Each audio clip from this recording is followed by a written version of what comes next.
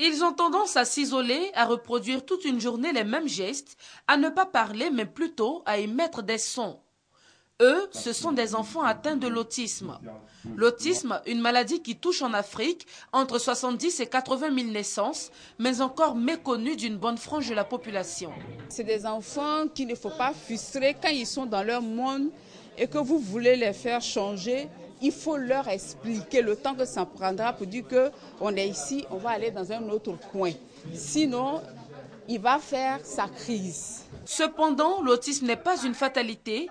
Avec les conseils des psychiatres, bien de mères arrivent aisément à gérer le quotidien de leur enfant autiste. Les médecins nous ont encouragés surtout de, de l'apprendre comme un enfant comme les autres. Elle n'arrive pas à comprendre les choses.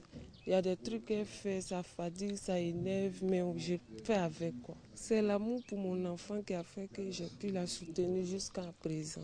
Elles ne seront désormais plus seules dans l'éducation de leur enfant atteint de l'autisme.